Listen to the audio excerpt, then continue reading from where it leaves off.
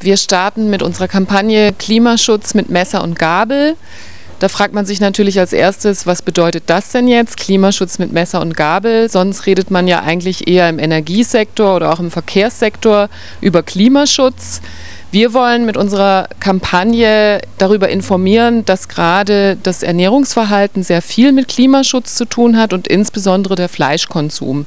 Die wenigsten wissen eigentlich, dass weltweit 18 Prozent des CO2-Ausstoßes zurückzuführen sind auf den Fleischkonsum. Und manche Institute rechnen sogar noch mit wesentlich mehr, also einer weitaus höheren Zahl. Also es ist absolut wichtig, dass man achtsam und bewusst auch mit dem Fleischkonsum umgeht, um eben auch etwas zum Klimaschutz beizutragen. Ein ganz wichtiger Punkt ist ja äh, zukünftig die Frage, wie wird man möglicherweise neun Milliarden Menschen auf der Erde ernähren können. Dazu muss man wissen, dass man eben für ein Kilogramm Fleisch bis zu neun Kilogramm Getreide nur für die Fütterung der Tiere braucht.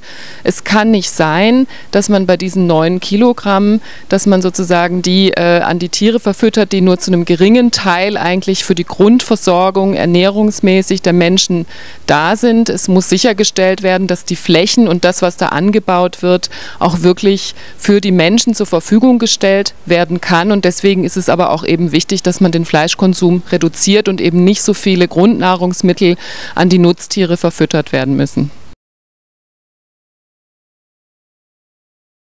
Tierschutz mit Messer und Gabel bedeutet eben auch, darüber nachzudenken, wie kann eigentlich eine artgerechte Tierhaltung in der Landwirtschaft gelingen. Wir, äh, gehen, wir Grünen sind ja schon immer äh, Befürworter einer biologischen und artgerechten Tierhaltung. Das heißt, die Tiere haben genug Auslauf und es sind auch nicht zu viele Tiere auf einem Haufen, so wie in der Massentierhaltung häufig der Fall ist, äh, sodass die Tiere krank werden, dass sie mit Antibiotika behandelt werden müssen, dass sie aber auch gestresst sind und deswegen ja auch überhaupt erst krank werden und dass eben verschiedene Amputationen vorgenommen werden müssen bei den Tieren, was äußerst schmerzhaft ist auch zum Teil, damit man überhaupt in der Masse Tiere halten kann. Wer A sagt zu biologischer und artgerechter Landwirtschaft, muss auch B sagen, nämlich mehr Qualität als Quantität und das heißt eben weniger Fleischverbrauch.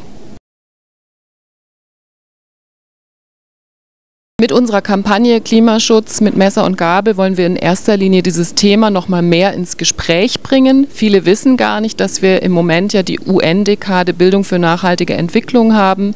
Die hat 2005 begonnen, ging und geht über zehn Jahre hinweg. Dieses Jahr ist das Thema Ernährung. Ich glaube, das ist das Interesse dieser Dekade, aber auch von uns insgesamt mehr Bewusstsein zu schaffen, Informationen dazu zu bieten, aber auch die Anreizmöglichkeit für unsere Kreisverbände, für die Grüne Jugend vor Ort mit anderen zusammen äh, Aktionen zu machen, Klimadinner zu veranstalten, vegetarische Grillfeste, aber auch Informations- und Diskussionsabende, um einfach da einen Schritt weiterzukommen und vielleicht sogar vor Ort eben einen vegetarischen Tag pro Woche einzurichten.